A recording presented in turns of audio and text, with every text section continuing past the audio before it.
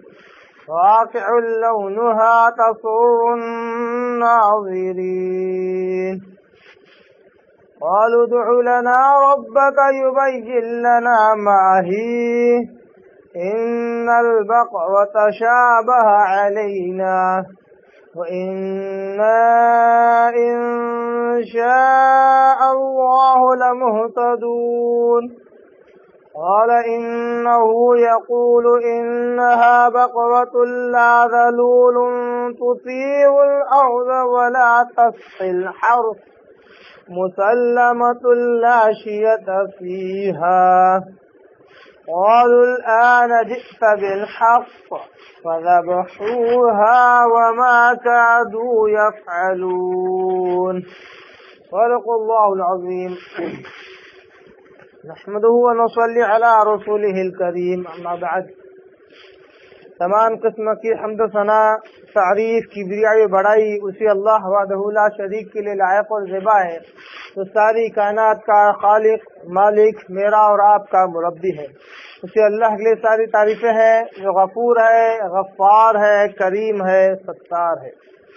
बाद इसके आपके मेरे आका, दो जहाँ के सरदार सरदार अम्बिया पर करोड़ा करोड़ अनगिनत बेशुमार दो दो सलाम मुहम्मद वसल्लम।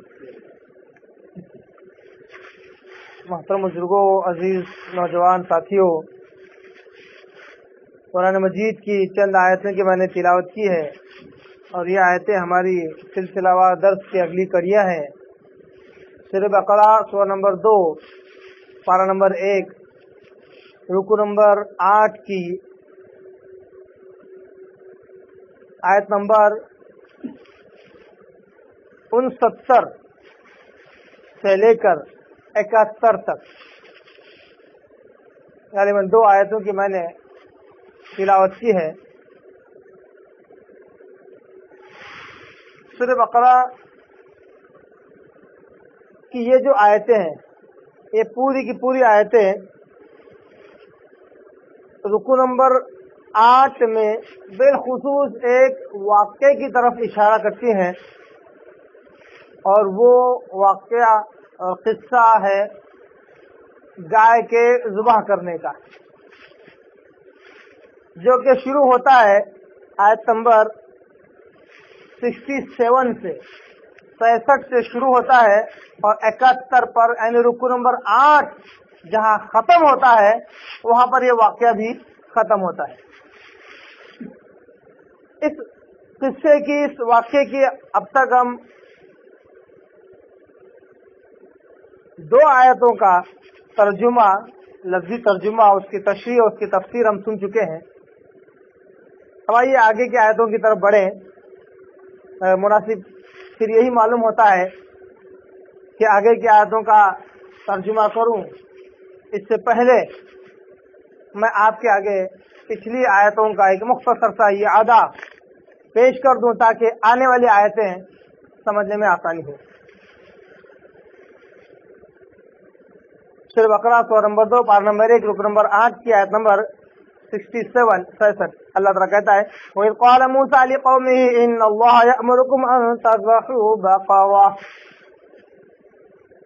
इसराइल औलाद याकूब याद करो उस वक्त को भी जबकि मूसा सलाम ने एक मरतबा तुमसे कहा था कि बेशक अय मेरी कौम के लोगों अल्लाह ताला तुम्हें हुक्म देता है कि एक गाय जुबाह करो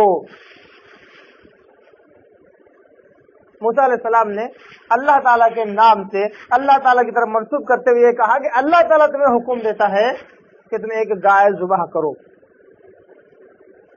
कुरान मजीद में अचानक मूसा सलाम का अपनी कौम को अल्लाह की तरफ़ मनसूब करते हुए कहना कि अल्लाह ताला तुम्हें हुक्म देता है, गाय जुबा करो। इसके पीछे क्या वाक्य है? इसके पीछे क्या पस मंजर है? इसके ताल्लुक से मैंने कहा था कि बनो इसराइल में एक शख्स था, बड़ा ही मालदार, बहुत पैसे वाला था। मगर उसकी कोई नरीना औलाद नहीं थी, कोई यूँ कहिए कि उसकी कोई औलाद नहीं थी। बस एक भतीजा था। और भतीजे की हम वक्त, हर वक्त कोशिश रहती थी कि अपने चचा का सारा का सारा माल हड़प कर जाए, उसका मालिक बन जाए। इसी मौके की ताक में एक मरतबा उसने अपने चचा का कत्ल कर दिया। और ये चाहा कि अपने चचा के कत्ल के इल्ज़ाम से भी बच जाए और इस कत्ल के बदले कोई दियत और बदला भी मिल जाए। तो उसने उस लाश को उठाकर एक ऐसे शख्स के घर के सामने फेंक दिया, जो कि उसका कातिल नहीं था। जब सुबह बनो जागी और देखा कि एक लाश उनके दरवाजे पर पड़ी है सबने एक दूसरे पर उंगली उठाना शुरू किया। यहाँ तक के बात कत्ल गारत गिरी और जंग जिदाल तक पहुँच आई और जो कातिल था, उसने भी यही आहाकार और यही शोर बलबा मचा दिया कि किसी शख्स ने मेरे चचा का कत्ल कर दिया है। अब मैं उससे तो जंग करके रहूँगा, या फिर मुझे इसका कोई दियत और बदला दिया जाए। रुपया और पैसा इस कत्ल के बदले दिया जाए। अब बात जंग जिदाल की भी आ गई थी और ना इंसाफ जुल्म की भी आ गई थी। बनो इसराइल, वक्त के नबी हज़रत मूसा सलाम के पास पहुँचे और कहा कि ए मूसा तस्लीम आप हमारे दरमियान फैसला कीजिए, हमें कातिल कौन है इस बात का पता नहीं लग रहा है, इस बात का सुराग नहीं लग रहा है। और ऊपर से ये आदमी बदला भी चाहता है कि जो भी मेरे चचा का कातिल हो, वो मेरे चचा के कत्ल का बदला और दियत मुझे दे। सलाम जो कि कलीमुल्ला है, अल्लाह से हम कलाम होते हैं, अल्लाह ताला अपने नबी को हुक्म देता है।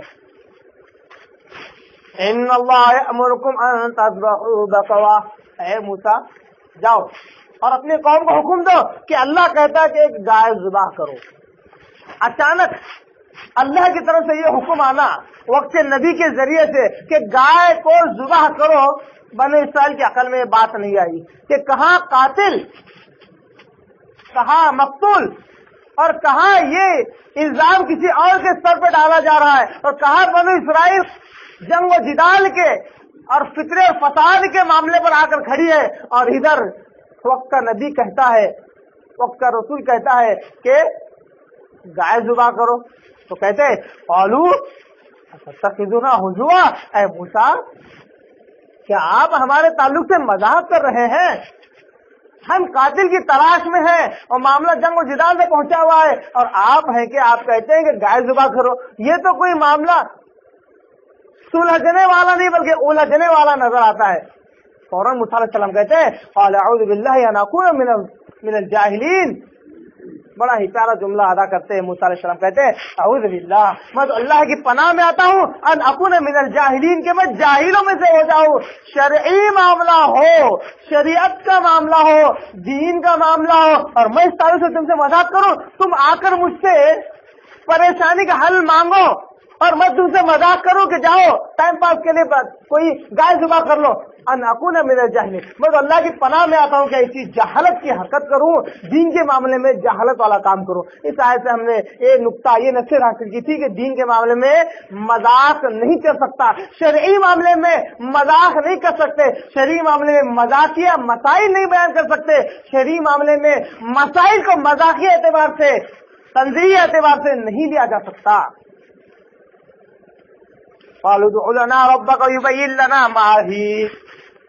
मूसा सलाम ने बेशक कहकर अल्लाह की तरफ़ मंसूब करते हुए कह दिया था कहे बन इसराइल अल्लाह ने बेशक अल्लाह तुम्हें हुक्म देता है कि गाय जुबा करो बन इसराइल को तो होना ये चाहिए था कि अल्लाह की तरफ़ से हुक्म है और वक्त का नबी उस हुक्म को पहुँचा रहा है दो दो हुक्म एक साथ मिलकर आ रहे हैं वक्त के नबी की इतात गोया कि अल्लाह की इतात है तो गोया होना ही चाहिए था कि फ़ौरन किसी भी गाय को, किसी भी गाय को पकड़ लाते और अल्लाह की राह में, अल्लाह के लिए नज़र नियाज करते उस गाय को जुबा कर देते तो हुक्म पर तामीर हो जाती। तो हुक्म पर अमल पैरा हो जाते। मगर बनो इसराइल, जिसकी हिस्से, जिसकी वाक्यात हम लगातार इस सूरत में सुनते आ रहे हैं, जिसकी हिस्से हम जानते आ रहे हैं, बड़ी टेढ़ी कौम थी, बड़ी बदबक कौम थी। फ़ौरन कहा फालुदना रब का युबना माही। अरे मूसा, हम तो अमल तो करेंगे तो बताओ तो सही, उस गाय की माहियत कैसी हो, हैयत कैसी हो, शक्ल सूरत वाली कैसी हो, उसका डिस्क्रिप्शन। जरा सा हमें बतलाओ। हम समझ नहीं पा रहे। देखिए दीन का मामला हुक्म आ गया। अमल पैरा हो सकते थे, जाहिरी माने के एतबार से, मगर अकल लगाया और कहा कि नहीं, इसका और कोई डिटेल होना चाहिए। इसके बारे में और तफसील चाहिए। तफसील मांगा।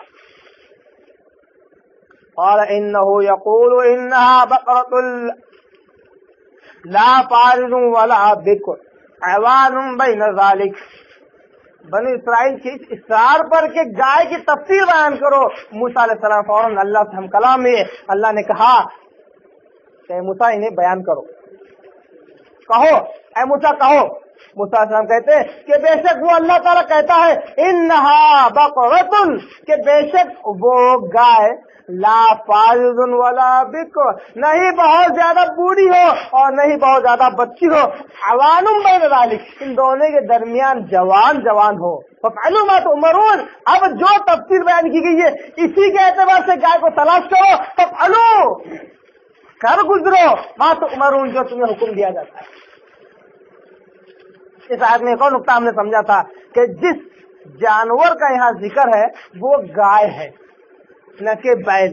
कहा था मैंने कि बहुत सारे लोगों ने इस लफ्ज का तर्जुमा, बकरतुन का तर्जुमा बैल से किया है। बैल से किया है। जबकि लफ्ज बकरतुन ये गाय के लिए है। मोनस का लफ्ज है, और सौरुन सेवा बैल के लिए आता है। मगर बकरतुन के मानी गाय के हैं। जैसा कि यहाँ पर भी इन्हा कहकर मोनस की जमीर के साथ अल्लाह ने लफ्ज इस्तेमाल किया और कहा कि वो गाय ऐसी हो ला पारिजू वाला बिक्र, नहीं बहुत ज़्यादा बूढ़ी हो नहीं बहुत ज़्यादा जवान। हो और नहीं बहुत ज़्यादा बच्ची हो अवानुम बैलिक इसके दरमियान जवान जवान उमरून, जो हुक्म दिया जाता है, उस पर अमल पैरा हो जाओ। ये थी आयत इससे पहले की दर्ज की। आइए, आज की आगे की आयतों को हम समाप्त फरमाए। अल्लाह ताला कहता है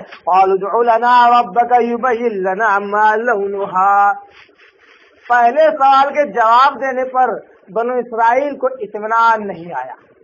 इतमान कल्ब हासिल नहीं हुआ, दिल मुतमिन नहीं हुआ।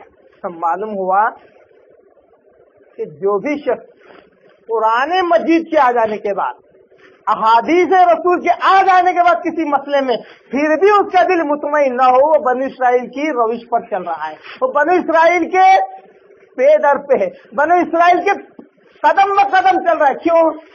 कि उसके दिल में अल्लाह का ज़िक्र नहीं, बल्कि शैतान घर कर गया है। तभी तो हर वक्त उसका दिमाग, उसका दिल चलता रहता है इतमान नहीं आता। वो कहता, कुरान मजीद का है अच्छा है तो सही, मगर मगर के साथ फिर आगे उसकी कड़िया जुड़ती है। हदीस में आता है अच्छा हदीस में तो आता है, मगर फला भी तो कहते हैं, मगर फला ने भी तो कहा है, मगर फला का भी तो फतवा है, मगर फला भी तो इतने सारे लोग हैं इस मसले पर अमल करते फला और फला कहकर उसका दिल मुतमिन नहीं होता। उसी तरह जिस तरह बनो इसराइल के आगे अल्लाह का हुक्म आ गया कि गाय सुबह करो। साथ ही साथ माफ़ करके पहले सवाल पर उन्हें गाय की तफसील भी बयान की, गाय की तफसील भी बयान कर दी गई कि वो न बूढ़ी हो, न बच्ची हो, बल्कि इसके दरमियान जवान हो। इस तफसील के बावजूद भी दिल मुतमिन नहीं है। सुनते हैं? जहालत वाला लफ्ज इस्तेमाल कर कहते हैं मूसा तस्लीम, दुआ करो, हमारे लिए घर तो हमारी है, हमारे दुआ करो रब तुम्हारे रब से, हमारा रब नहीं हो, तुम्हारे रब से दुआ करो, हमारे लिए यू बहीन लेना, कि वो तफसील बयान कर दे, खोल खोल कर बयान करे, हमारे लिए मालूनुहा कि उस गाय का रंग कैसा हो लउन यानी रंग उस गाय का रंग लौनुहा यहाँ पे भी मोहनस की जमीर अल्लाह ने इस्तेमाल की है। वो क्या करते सवाल? कि उसका रंग कैसा हो। और इन यकूल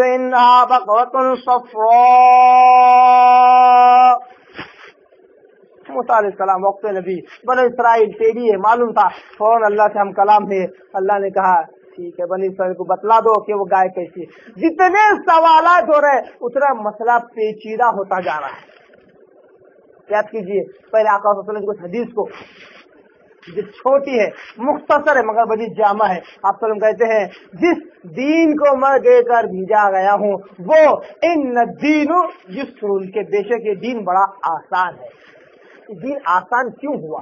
इस वजह से क्योंकि अल्लाह की तरफ़ से जो अहकाम आते, नबी वसल्लम उसको जू का तो अपनी उम्मत तक पहुंचाते। इस दरमियान सहाबा ने वही सवाल किया जिसकी ज़रूरत थी। वो सवाल नहीं किया जिसकी ज़रूरत नहीं थी। यहाँ तक के वसल्लम का कि सीरत का वो ताबनाक पहलू जिसमें मुनाफिकी ने ये चाल चली। ये कोशिश की कि इस्लाम जो बेहतरीन और सीधा, सादा, आसान दिन है, इसमें सवाल के ज़रिए से पेचीदगियाँ पैदा की जाए, इसको कॉम्प्लेक्स किया जाए, जैसे ही मुनाफिकीन आकर सवाल करते हैं फौर अल्लाह की तरफ़ हुक्म आता है, चाहे वो मुनाफिक हो, चाहे वो सहाबी हो अब मैं नबी से कोई सवाल करना हो, जब तक सबका खैरात न करो, सवाल न करो। सब के सब डर गए। यहाँ तक कि सहाबा भी बिचक कर रहे थे कि अब कुछ मसला भी ज़रूरत वाला पूछ रहा हो तो बगैर सबके खैरात के सवाल नहीं कर सकते और जेब में जाकर देखते तो कुछ भी नहीं। बनो इसराइल, जो पहले ही से अपने हाथों को तंग मुनाफिकीन, जो आप के जमाने मौजूद थे, पहले से अपने हाथों को तंग रखते थे कभी अल्लाह के राम सबका खैरात नहीं करते थे और कहते थे कि अल्लाह तला क्या हमसे माँगता है? क्या अल्लाह तला हमसे माँगता है? क्या वो फकीर है? नवूज बिल अल्लाह ताला को फकीर कहते थे, मोहताज कहते थे और कहते थे कि वो हमसे मदद क्यों हासिल करता है? ऐसे तो थे मुनाफिकीन, इनमें बहुत सारे यहूदी भी थे, जो बड़ा ना मुसलमान हो गए। तो अब इनके लिए अल्लाह की राह में खर्च करके सवाल करना ये बड़ा मुश्किल था। इसमें एक और बड़ी ही बेहतरीन हिकमत अल्लाह की तरफ़ से थी। वो ये कि नबी की शान में गुस्ताखी न हो। हर कोई आकर अगर अपनी ज़रूरत हो या न हो बार बार रसूल से सवाल करेगा तो रसूल की शान में गुस्ताखी होगी। बार बार रसूल इनको एंटरटेन करने की कोशिश करेंगे और मसला तो एक तरफ़ रह जाएगा, रसूल की शान घट जाएगी। अल्लाह ने कहा, नहीं मैं रसूल तुम्हारे एंटरटेनमेंट के लिए नहीं है। मेरा रसूल दीन को पहुँचाने के लिए, इसलिए वही दीन पहुंचाएगा जो मेरी तरफ़ से। सवाल को रोक दिया गया। ये आप की सीरत का, ये जो पहली हमें यही बतलाता है कि वाकई दिन दीन बड़ा आसान है। दीन बड़ा आसान है कि इसमें पेचीदगियों को अल्लाह ने अपनी हिकमत बालिगा से इसके अंदर पेचीदगी को खत्म किया है। अब ये और बात है कि उम्मत मोहम्मदिया, उम्मत मुस्लिमान ने आसान दीन को न पढ़ते हुए, न समझते हुए, इस तक रसाई न हासिल करते हुए अंधे और बहरे होकर ये कह रही है सबसे मुश्किल दीन अगर कोई है तो इस्लाम है। बिल्कुल पहाड़ के मानिंदे जब इसको सर नहीं किया जा सकता तो बाजू से पगडंडिया निकालना पड़ता है। कहते हैं लोग, कहते हैं, सबसे मुश्किल दीन मतलब दीन इस्लाम। एक मसले को नहीं समझ सकते। यहाँ तक के बाद लोग तो ऐसे हैं जो कहते हैं कि दीन के अंदर भी दो हैं। एक शरीयत तो है ही जो कुरान मजीद है और हदीस रसूल है। दूसरा एक तरीकत भी है। जो कुरान हदीस समझ ले, वो एक नंबर। मैं नहीं कह रहा हूँ, अल्लाह माफ़ करे, बाजाबता ऐसे जुमले, अल्फाज लिखे हुए लोगों ने कहे भी हैं, कहे भी हमने इन्हीं कानून सुना है। जो कोई कुरान हदीस का इल्म रखता हो, एक नंबर का जाहिल है। और जो कुरान हदीस के अलावा इसके अंदर बहुत सारे राज, पन्हा है, उनको जो जानता है, वो तरीकत का आलिम होता है। इसलिए कहते हैं कि लोगों, सिर्फ़ कुरान हदीस मत पढ़ो, क्योंकि तुम बिस्मिल्लाह के दे के नुक्ते को नहीं, नुक्ते को तक नहीं समझ सकते। अब बताइए, जो शख्स बिस्मिल्लाह के दे के नुक्ते को नहीं समझ सकता, क्या वो पूरे कुरान समझने की कभी सही और कोशिश कर सकता है? नहीं करेगा। क्यों? बिस्मिल्लाह के भूल दे के नुकते की गहराई को नहीं समझ सकते तो पूरा कुरान कौन समझेगा? इस तरह दिन इस्लाम की इतना मुश्किल, इतना पेचीदा बना दिया गया कि किसी भी मसले पर दिल मुतमिन नहीं होता, जिस तरह बनो इसराइल यहाँ पर मुतमिन नहीं है। और कहा कि उसका रंग कैसा, जरा सा बतलाओ। कहा कि वो गाय, उसका रंग ऐसा हो, सफरा, जर्द रंग की हो। जर्द यानी गहरा पीला। और गहरा पीला भद्दा न हो, क्यों? आगे आता है। फाके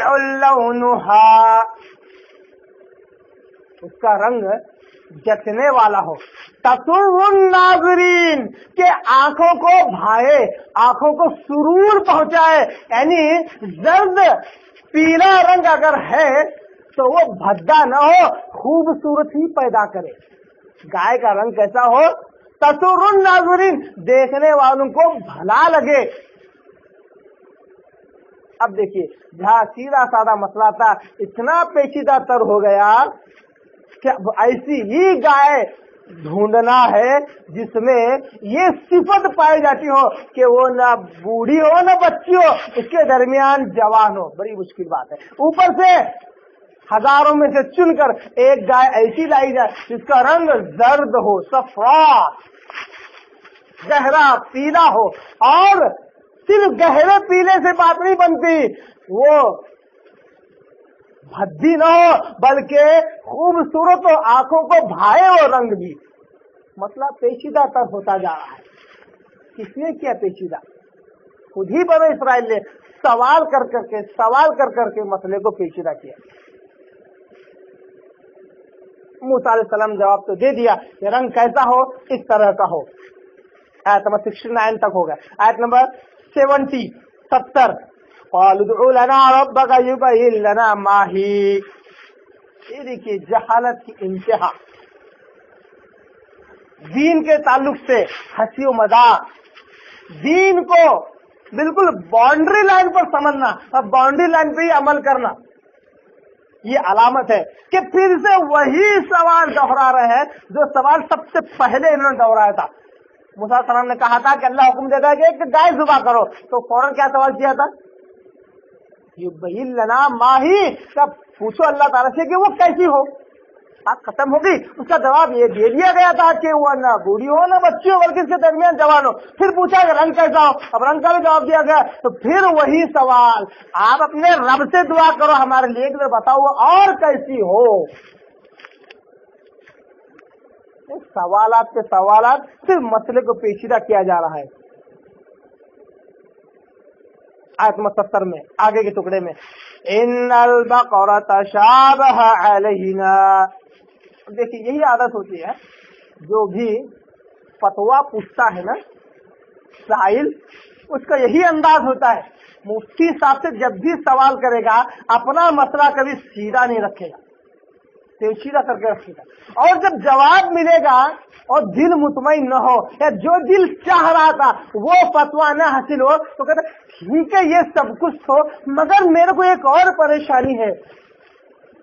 वैसे ही बनो क्या कहती है इनल अलीना। ए मूसा, आपने तो बहुत कुछ बताया, पर और कुछ बताइए कि वो गाय कैसी हो? क्योंकि, देखिए, क्या जुमला है। क्योंकि बहुत सारी गाय हमें एक जैसी नज़र आती है। बताइए, ये सिफत वाली गाय, आपके भी आम तजुर्बात है कॉमन सेंस है, कितनी गाय देखी होंगी? हज़ारों में एक गाय ऐसी मिलती है जो न बूढ़ी हो, न बच्ची हो, बल्कि जवान हो और जर्द रंग हो, जिसका पूरा का पूरा। और खूबसूरत भी लगे देखने। फिर भी कहा कि इन बकर तशाब हमें तो बहुत सारी गाय एक जैसे नज़र आती है। यही स्टाइल का भी अंदाज होता है मुफ्ती साहब से। सवाल पूछ कर जवाब सुनकर उस पर गौर करके अमल नहीं करता, बल्कि वही गौर करता है फिर से क्रॉस करता है। बोलते तो यार, मेरे ऐसा शाना कोई है नहीं, बोले, मुफ्ती साहब का ऐसा अटका दिया है कि मुफ्ती साहब भी सोच में पड़ गए। खुद की पीठ थपकता है और खुद का मुँह, क्या कहते हैं, मिट मियाँ मिट्टू, अपने ही मुँह से अपनी तारीफ़ करता है और कहता है, मुफ्ती साहब कैसे सवाल कर दिया मैंने के जवाब नहीं दे सके।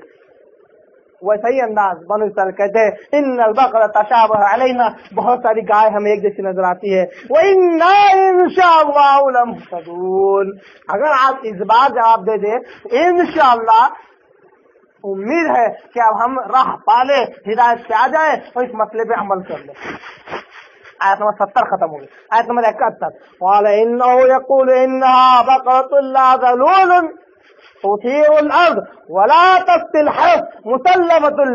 फीहा। मूसा सलाम, हम कलाम होते अल्लाह से, जवाब हासिल कर लेते और कहते हैं और इन्नहु यकूल, बेशक वो अल्लाह ताला कहता है, इन्नहा बकरतुल तो बेशक वो गाय, ला काम काज की भी ना हो। बिल्कुल काम काज की भी न हो।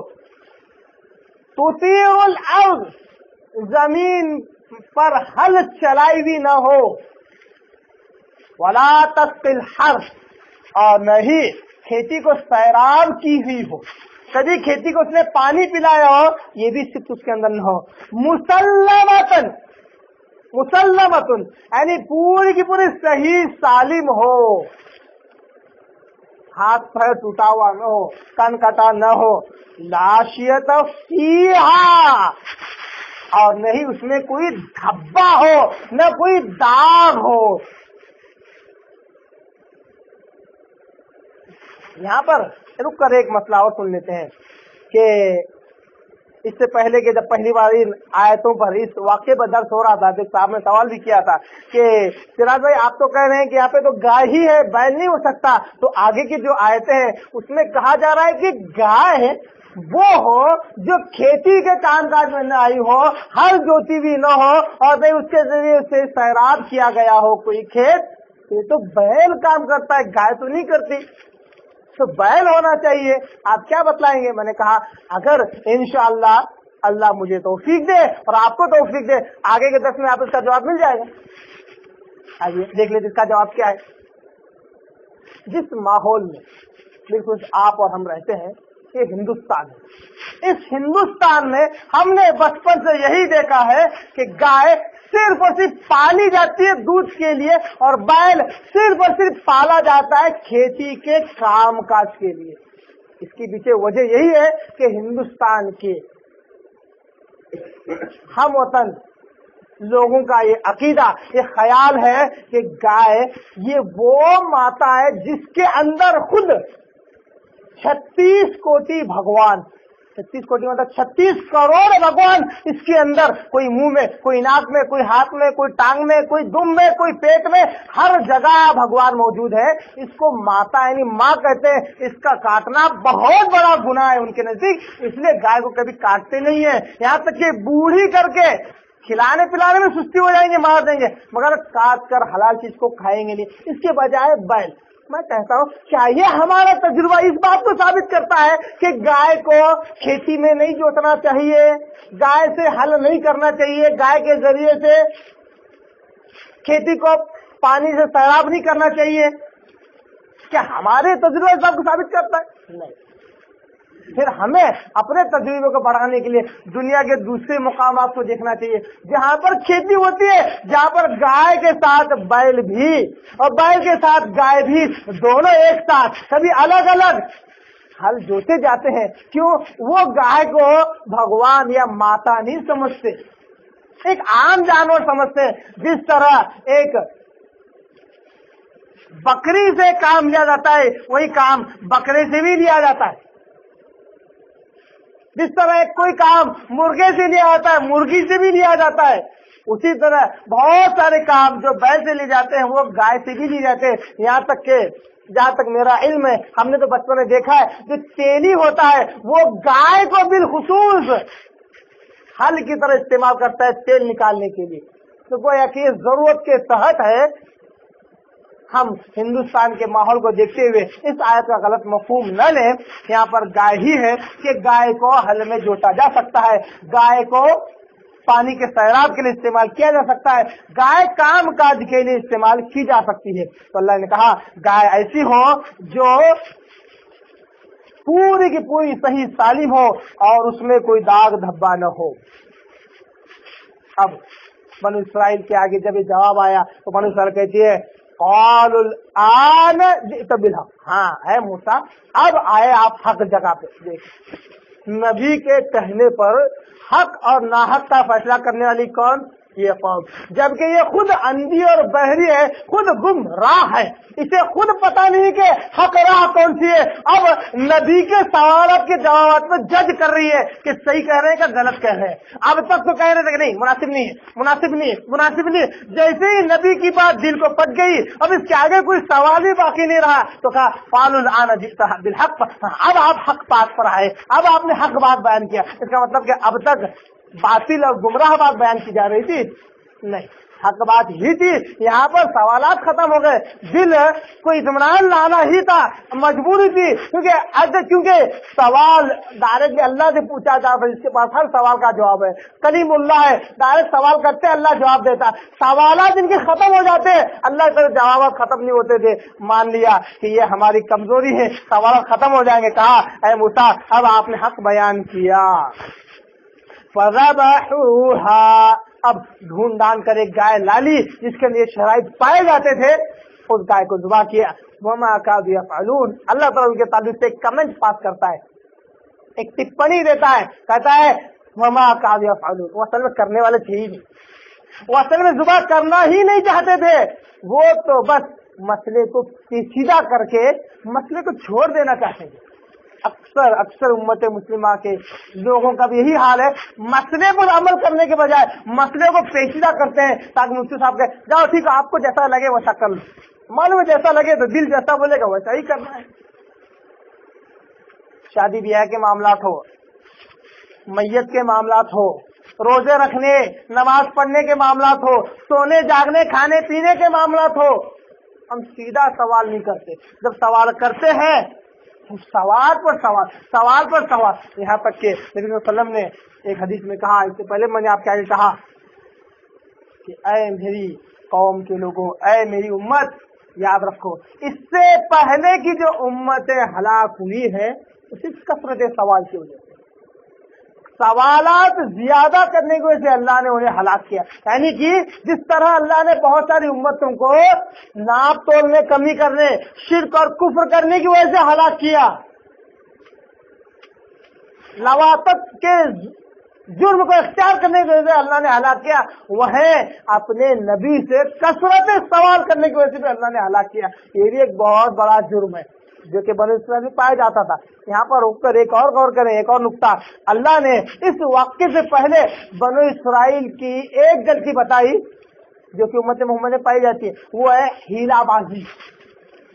यहाँ पर एक और गलती बताई कि कसरत सवाल करना और मसले को पेचीदा तर करना। पहला, पहली जो गलती है, पहला जो गुना है, वो सरबराहों में उम्मत के सरबराहों में, दीन के सरपरस्तों में पाई जाती है। और ये जो दूसरी बुराई है, मसले को पेचीदा करना सवाल करके, ये अवाम में पाई जाती है। दोनों की अल्लाह ताला इस्लाह चाहता है उम्मत मोहम्मदिया में। हीराबाजी, मसला जब आए क्या मसला जब कोई पेश आए तो उसमें हीराबाजी करके हलाल को हराम कर देना, हराम को हलाल कर देना, जायज़ को नाजायज, और नाजायज को जायज़ करना, ये दीन के सरपरस्तों का काम है। कि इन्होंने दीन को आसान करने के चक्कर में दीन की शक्ल को ही बिगाड़ दिया तो अल्लाह ने भी उनकी शक्लों को बंदर और सुअर बना दिया। या बंदर की शक्लें जलील बंदर अल्लाह ने बना दिया हीराबाजी की वजह से। ये दीन के सरपरस्त से जिनके अंदर ये बुराई मौजूद थी। और अवाम में बुराई क्या है? दीन के सरपरस्तों पर इतना प्रेशर डाला जाए सवाल के ज़रिए से कि वह हीले बहाने तलाश करने पर मजबूर हो जाए। जिसका ज़िक्र अल्लाह तला उसके बाद वाले वाक्य में, गाय के ज़िक्र में अल्लाह ताला कहता है कि सवाल बनो इसने बहुत ज़्यादा करती थी। अरे उम्मत मोहम्मदिया, तुम सवाल को ज़्यादा करके मसले को पेचीदा मत करो। इस वाक्य से सबसे पहली बात तो ये मालूम हुई कि मसले को सवाल के ज़रिए से पेचीदा न किया जाए। अगर सवाल के ज़रिए से पेचीदा करेंगे तो मसला पेचीदा तर होता जाएगा, जिससे दीन की शक्ल तो बिगड़ेगी ही बिगड़ेगी, अमल करना दुश्वार हो जाएगा। अब आइए अगर इस बीमारी से अगर हमें बचना है, कसरत सवाल से अगर हमें बचना है तो क्या किया जाए? क्या तदारुक इख्तियार किए जाए? क्या तदाबीर इख्तियार की जाए कि इसके तदारुक के लिए कोई काम हो? कुछ नुकात अमली मश्क करके मैंने आपके आगे लेकर आया हूँ। इन पर गौर करेंगे। इंशाल्लाह इसके अलावा बहुत सारे नुकात हैं। ये कॉमन, आम तौर पर ये नुकात है। इन पर अमल करने से इनशाला उम्मत मोहम्मदिया बिलखसूस आप और मैं कसरत सवाल वाली बीमारी से जिससे उम्मत हलाक हुई है, उससे हम बच सकते हैं। सबसे पहले ये उसूल हम रूल याद रखें कि कुरान मजीद और अहादीस कि जो भी जाहिरी माने हो, उन पर इक्तफा किया जाए। सबसे पहला उसूल। कुरान मजीद की कोई आयत आ जाए जो कि ज़ाहिर एतबार से जो मफहूम बयान करती है, सबसे पहले उसको कबूल किया जाए। ये न देखा जाए कि पर्दे के पीछे क्या है। ऐसा ही होता है। मुफ्ती साहब से जो सवाल किया, मुफ्ती साहब बोलते हैं कुरान में की आयत तो ऐसी है। नहीं, मौलाना, उसके अलावा कुछ और है क्या? देखिए, जब कुरान में की आयत आ गई मतलब मसले का जवाब आ गया, अब दिल मुतमिन है तो कुछ और है क्या? ऐसा ना करें। सबसे पहले कुरान मजीद और अहादीस किस ज़ाहिर मानों पर इक्तफा करें कि हाँ ये माना है, ये मसला है, बस। इनशाला more than fifty sixty percent मसाइल हल हो जाएँगे। सिर्फ़ जाहिरी मानव इच्छा कर दूसरा, जिस चीज़ की ज़रूरत साइल को हो, उसी का सवाल करें। जिसकी ज़रूरत न हो, सवाल न करे। इल्म का अंबार सवालात से नहीं आता। इल्म का अंबार इल्म हासिल करने से आता है, पढ़ा जाए। अल्लाह का सबसे पहला हुक्म, सबसे पहली वही जो अल्लाह नजीर की वही एक और है, उम्मत मोहम्मद मुसलमानों। सबसे पहले पहले हुक्म पर अमल करो। एक और, पढ़ो। पढ़ना ही नहीं चाहते तो इल्म कहाँ से आएगा? पूछ पूछ कर सवाल कर करके इल्म नहीं आ सकता। अब जो आएगा, वो डाउटफुल रहेगा ऑथेंटिकेटेड वेल प्रूफ्ड नहीं रहेगा, उस पर कोई भी उंगली उठा सकता है, क्योंकि वो नॉलेज बूढ़ा होता है, जो सुन सुन कर किया जाए। इसलिए तो ने एक हदीस में कहा मुस्लिम में, कि अक्सर लोग क्या करते हैं? सुन सुन कर बातें पहुंचाते हैं। किसी शख्स के झूठा होने के लिए इतना काफ़ी है कि हर सुनी हुई बात को कहता फिरे। सवाल करे, जवाब मिला, अरे, मैंने सुन लिया तो मुफ्ती साहब से देखो, वही फतवा बयान कर रहा हूँ जो मुफ्ती साहब से। अब मुफ्ती साहब के सुनने में कम्युनिकेशन गैप हो सकता है। कम्युनिकेशन का प्रॉब्लम हो सकता है कि मुफ्ती साहब ने कुछ और सुनाया, आपने कुछ और समझा, और कुछ और आप सुना रहे इससे बेहतर एक पढ़ा के हुक्म पर अमल किया जाए, पढ़ा जाए, इसके वजह से इल्म हासिल किया जाए। तीसरा। सवाल की तीन किस्में होती है। सवाल की तीन किस्में होती है। एक, सवाल बराए इल्म। यानी सब सवाल किया जाता है तो इल्म हासिल करने के गर्ज से किया जाता है। ये मारूफ है, पसंदीदा है। दूसरा है सवाल बराए अमल। सवाल इसलिए किया जाता है ताकि अमल किया जाए, ये भी मारूफ है, पसंदीदा है। तीसरा है सवाल बराए सवाल। सवाल सिर्फ़ इसलिए करते कि सवाल हो जाए। अल्लाह माफ़ करे, दुनिया में आजकल एक ऐसा भी ट्रेंड चल रहा है, अल्लाह हम सबको हिदायत दे, तौफीक दे बिलखसूस दाइयों के दरमियान कि अपने ही स्टेज में अपने ही लोगों को कुछ कुछ चिट्ठियाँ दे देते हैं और कहते हैं, कोई न पूछे तो तुम पूछ लेना। ताकि मुझे भी, ताकि लोगों के आगे भी इंप्रेशन पड़े कि मैं भी सवाल के जवाब देता हूँ। नहीं, सवाल बराए सवाल है, न इल्म है, न अमल है। सिर्फ़ लोगों का इंप्रेशन के लिए कहिए, या सवाल के जवाब में महारत हासिल करने के लिए कहिए, इसके लिए भी लोग कर रहे हैं। अल्लाह हम सबको हिदायत दे। ये भी बड़ी बुरी बात है। सवाल बड़ा सवाल ही मजमूम है ना पसंदीदा है। इल्म के लिए किया जा सकता है, अमल के लिए किया जा सकता है, जब तक की ज़रूरत न हो। इसी तरह, सवाल खुद के लिए कीजिए, दूसरों के लिए नहीं। ये भी बहुत ज़्यादा बीमारी खसूस नौजवानी पाई जाती है कि गर्ज किसी और की होती है और सवाल खुद करता है। सिर्फ़ चंद मौकों पर सहाबा के जब ऐसा मिलता है कि किसी की वजह से किसी ने सवाल किया। सिर्फ़ चंद मौकों पर। जो चंद मौके हैं वो हमारे लिए सुन्नत नहीं बन सकता। बिलखसूस, सहाबा के दरमियान कोई शख्स किसी वजह से खुद सवाल नहीं कर सके, किसी और को सवाल कर लगाया।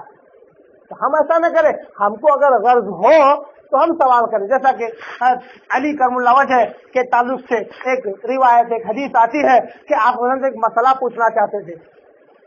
वो मसला वो मसला था कि वज़ू कैसे टूटता है। उनको एक मसला दरपेश था। अब पूछना था किससे? वक्त के नबी मोहम्मद मुस्तफ़ा से। पूछना तो चाहते थे, मगर रिश्तेदारी ससुर की थी। उनकी बेटी इनकी निकाह में सवाल करना मुनासिब नहीं समझा।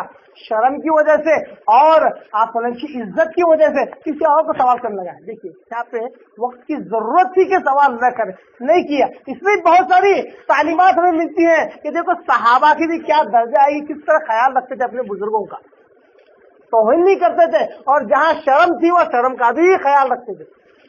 हाँ, इसलिए इस मसले इस इस किस्म के चंद मौके को छोड़कर जहाँ भी औरतों को भी खसूस जहाँ सवाल करना था खड़े रहकर सवाल किया कि ये हमारा सवाल है जवाब दो अपनी ज़रूरत के लिए सवाल करे किसी और के लिए सवाल न करे। इसी तरह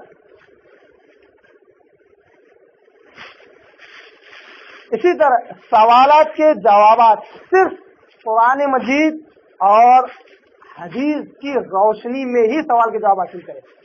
कुरान मजीद और अहादीस जिसके बारे में मिलती हो, वही जवाब ले। उसके अलावा जवाब नहीं हो सकता। उसके अलावा अकली तौर पर जवाब हो सकता है, लॉजिकली जवाब के, लॉजिकली तौर पर जवाब हो सकता है, मगर वो जवाब कल के रोज मुस्तबिल में गलत भी साबित हो सकता है। इसलिए कोशिश करें कि सवाल का जवाब पुरानी मजीद और अहादीज की रोशनी में हासिल करें। जैसा कि एक मसला है, नमक खाना। खाना खाने से पहले नमक खाना खाना खाने के बाद नमक खाना। ये एक मसला है।